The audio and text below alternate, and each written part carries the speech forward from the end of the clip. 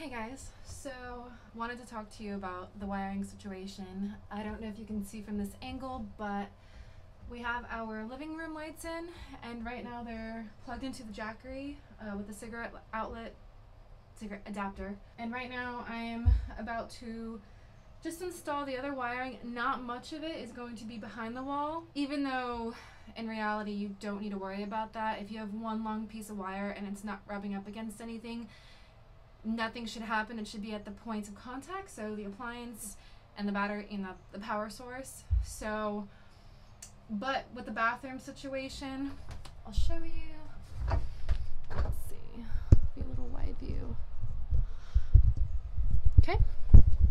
If you can see, this is the bathroom area, and so we have our wire. If you can see the duct tape, this is where all of the living room lights merge, or most of the wiring merges. So at this point, the living room lights come off this way, and they end right here.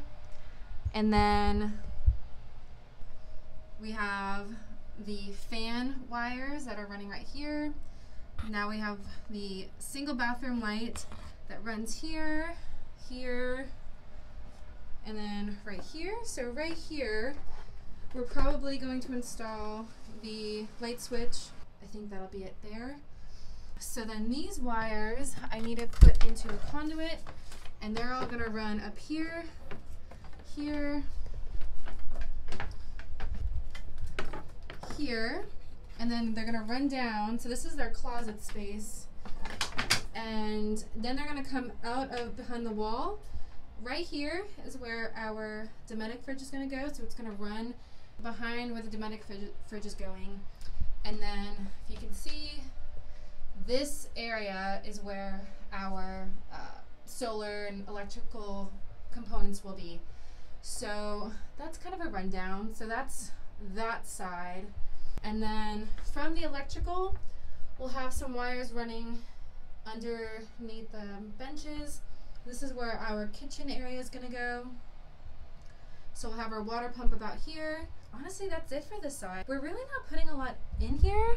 Um, keeping it simple. Our stove is kind of a plug and play stove and we're not really using AC appliances we just don't have the power for that and it's expensive in the room and this is everything that we're doing is cost effective hey guys it is whew, it is hot out today but i am going to take you through our electrical system and the components that we chose uh, i have the back panel with all of the main components the fuses the wiring and i'm going to go over that with you but i just wanted to do a little disclaimer that this is not a how-to or an instructional video. This is a overview of how we decided to do our system and what made sense to us uh, at the time. So please do your own research and take it as a guideline if anything. I'm not a professional, I'm just a DIYer who did a lot of research. Um, so I highly recommend doing that before getting into yours. So let me show you the system. Okay, so we will start from the solar panel side. Our wires will be traveling right above here and get inserted right here, the positive. And then our negative will squeeze into this right here on the negative. So this is the solar panel side. This is the common negative. This is the alternator. So I have four gauge running to an 80 amp circuit breaker, which is what was recommended in the instructions. And then from here down, we're gonna have our wire going to the alternator. Then from here, we have the positive going to the positive battery side of everything. So I have a 70 amp circuit breaker, which is what was recommended.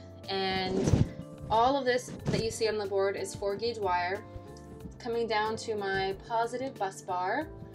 Then from there, I have a 100 amp circuit breaker going to my fuse panel. All of my DC 12 volt appliances are going to be running from this side of things and then traveling below and then I will attach them here. From one of these positives, I will be putting a two, I don't know how you say it, two slash zero gauge wire to the inverter when I get that. And then for here, to break up the system, like if I ever need to work on it, I bought these on and off switches. So this will be going right here. So we'll be doing, again, the two slash zero, I'm not sure how to say that, um, wire to this. And then from this, it'll be going to the battery, which will have a 250 amp inline fuse on that. I also forgot to mention we're gonna have another on and off switch, which will be going here to shut off the solar panel. I can totally isolate this this unit if I ever need to work on anything from the solar panels and from the batteries, completely cutting off all the power. Um, and that's just how I chose to do things. So just like that. And then we have our negative bus bar. So our common negative will be going here from the MPPT. The negative from our fuse block going to here. Again, we'll have a negative going to our inverter, and then this is going to our battery shunt, and this shunt will be connecting to the negative of the batteries, and then this is going to be connected to our Victron battery monitor, which will be mounting up this side of the wall where we can see it. And yeah, that is that is the system. And I will bring in the batteries to show you how that's all going to look and fit together. Okay, so we have our Battleborn 100 amp hour batteries in place. They're going to be connected in uh, 12 volt orientation parallel. This whole system is 12 volt. That's how much clearance we have between everything. And I have these 2x2s along the edges to show you that we're going to build a little perimeter around these so that they stay in place. This is, again, the alternator wire. Just want to show you. That's just to... That's just to connect like that. It's going to be, like I said, not as tidy as I'd like it. And then let me... I'm to run the wires that we have in the closet here. These are all of our 12 volt accessory wires and just run them into here so you can see that. Okay, so the wires are gone from there, and now they're traveling underneath this countertop where the fridge is going. All of the wires you see on the bottom are all the accessories. So fan one, fan two, uh, bedroom, uh, 12 volt charging, the light for the bathroom. These are the solar wires. And yeah, that's kind of it. Any other wires that we have are going to be running underneath this bench area, um, either along the back or the front. And yeah, I mean, we might have a 12 volt charging here along with our battery monitor and then a AC outlet that will connect to the inverter right here. And then doo -doo -doo the light switch for the lights that are gonna go below the cabinets and for all of these lights it's gonna get connected right there. And then um, the wire is probably gonna travel in the back here underneath underneath the bench seat to here same with our 12 volt water pump and I mean that's it we really don't have a lot going on here I also don't think I went over what our solar charge controller does. It's a Renogy 50 amp MPPT uh, DC to DC charger. So that means that we are charging from the solar panels and we're also charging from the starter battery when we have the engine on. So uh, if you read the pamphlet of the actual unit, you'll see that when they're both in use, so when we're driving and the solar panels are working, which they're always on. Uh, it's 25 amps from each that they're getting. They kind of cap off. Um, so when the engine is off, 50 amps is what we can get from the solar panels. I'll show you sort of how I configured everything on the starter battery because I was a little bit confused about that.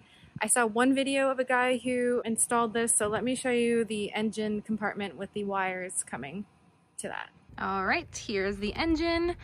So what we did here was this red cable is the red cable for the Renogy unit. And this black cable is the is the negative cable for the Renogy unit. This, I think this was the terminal mount that came with the engine. This was a new one I bought. This one has a lot more components on it. This was all already on the terminal. This, it's cool. It's got this little winged nut for that.